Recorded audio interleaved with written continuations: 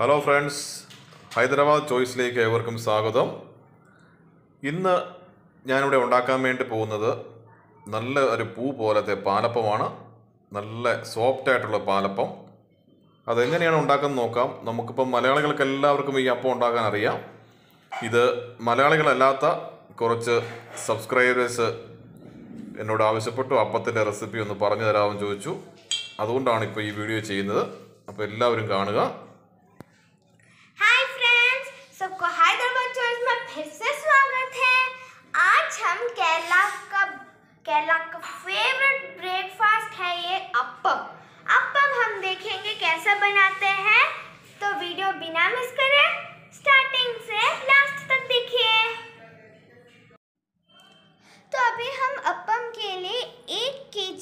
Rice है, ये हम सुबह से शाम तक सिक्स हावर्स हम पानी में डालकर रखे थे।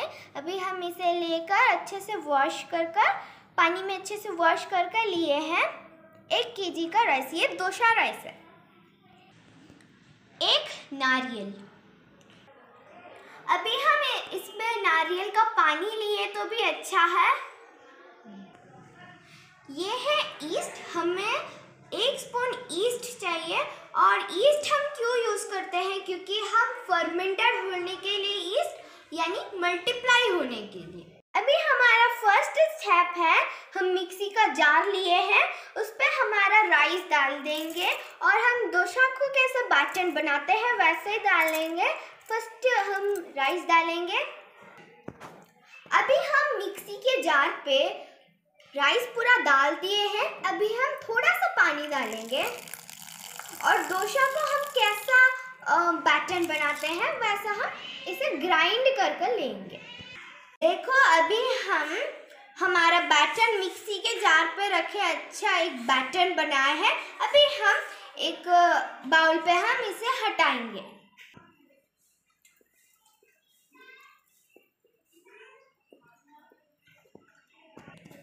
अभी हम यहाँ पर एक कटोरा लिए हैं।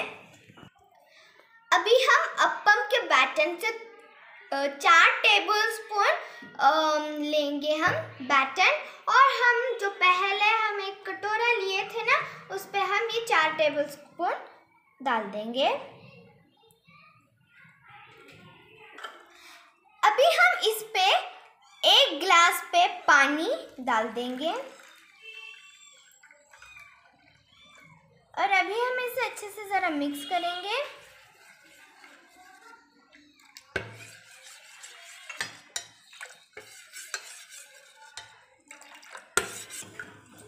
अभी हम ये एक अभी हम गैस पे रखे हैं और हम मीडियम फ्लेम में रखे हैं। अभी हम इसे बिना हाथ छोड़े अच्छे से मिक्स करेंगे, जब तक ये थिक बैटर हो जाए। तब तक हम बिना हाथ छोड़े अच्छे से हम मिक्स करेंगे। अभी हमारा बैटर थोड़ा थोड़ा थिक थिक हो रहा है। देखो, बहुत अच्छे से थिक हो रहा है हमारा बैटर अभी देखो, हमारा बैटर अच्छे से थिक हुआ है। अभी हम इसे गैस ऑफ़ करेंगे और हम इसे पानी पे रखेंगे ठंडा होने पर। ठंडा होने के लिए ठंडा होते तब ये थोड़ा सा और थिक हो जाएगा। अभी हम चावल सब अच्छे से बैटन बना के लिए हैं। अभी हम हमारा थर्ड स्टेप पे जाएँगे। हम एक मिक्सी का जार लेंगे और इस पर हमारा नारियल डाल देंगे और इसे ज़रा ग्राइंड कर देंगे। अभी हम इस नारियल पे एक टीस्पून ईस्ट डाल देंगे। एक टेबल स्पून शक्कर डाल देंगे। आपको चाहिए तो शक्कर का क्वांटिटी ज़्यादा या कम भी कर सकते हैं, या फिर कल सुबह भी हम डाल सकते हैं जब हम ब्रेकफास्ट बनाते हैं। थोड़ा सा नमक डाल देंगे। अभी हम देख कर कल सुबह भी डाल देंगे। देखो, अभी हम पहले बनाए जो राइस का थिक बैटन है ना, वो अभी बहुत अच्छे से थिक हुआ। तो अभी हम ये हमारे नारियल पे डाल देंगे। अभी हम ये सब डाल दिए हैं। अभी हम इसे इसे चाट पे डालकर अच्छे से पेस्ट बनाएँगे। हम इस पे पानी कुछ भी नहीं डाले हैं। तो चलिए हमें अब अभी हम इसे पेस्ट बनाएँगे। अभी हम ये सब एक बार ग्राइंड कर कर लिए हैं। ये थोड़ा सा थिक है, देखो। थोड़ा थिक है तो हम क्या करेंगे? इस पे थोड़ा पानी डाल देंगे और ग्राइंड करेंगे। अभी हमारा नारियल और ईस्ट का मिक्स यहाँ पर रेडी है। तो अभी हम पहले अपम का बैटर बनाए थे। उस पर हम डालेंगे ये अभी हम पूरा मिक्सर डाल दिए हैं अभी हम इसे अच्छे से मिक्स करेंगे। जो नारियल और ईस्ट का मिक्स और अपम का मिक्स अच्छे से मिक्स होना। देखो, अभी हम अच्छे से मिक्स किए हैं। ये है इसका कंसिस्टेंसी देखो, कितना लूज बैटन है। तो ये अभी हम लोग इवनिंग में बनाए थे। अभी हम एक नाइट पूरा हम वेट करेंगे। कल मॉर्निंग हम लोग देखेंगे। तो अभी हम इसे ढक्कन से बंद करेंगे। अभी हम ढक्कन से बंद करेंगे और मैं पहले बोली जैसा एक नाइट पूरा हम वेट करेंगे। देखो, अभी सुबह हो गए, अभी हम ज़रा ओपन करके देखेंगे। अरे वाह, हमारा ईस्ट सब अच्छे से फर्मिनेंट हो गया, यानी मल्टीप्लाई हो गया। अभी हम इसे मिक्स करेंगे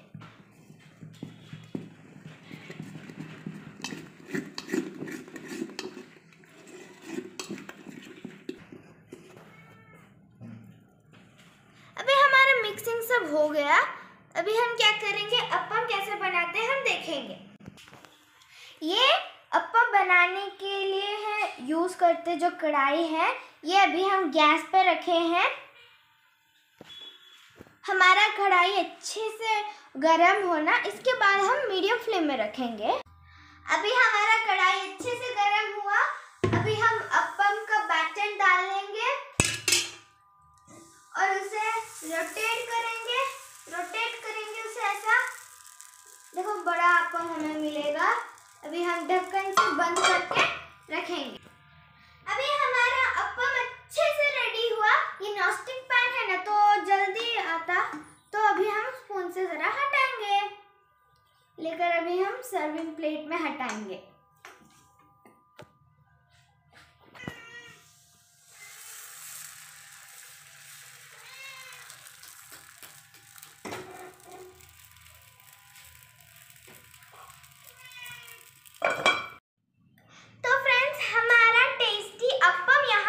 रेडी है।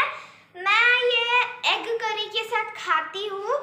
Egg curry chicken curry mutton curry और फ़िश करी के साथ भी ये बहुत अच्छा सा कॉम्बिनेशन है। तो ये सब लोग घर पर तैयार करके देखना।